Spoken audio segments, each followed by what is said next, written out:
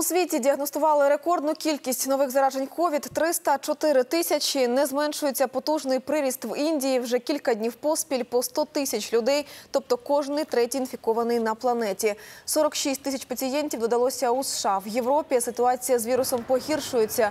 У Британії збільшується швидкість заражень. Уряд країни хоче збільшити обсяги тестування до 10 мільйонів тестів на день до початку 2021 року. Збільшилася кількість заражень в Естонії Данії, а в Грузії у шести великих містах початок навчального року відклали до 1 жовтня.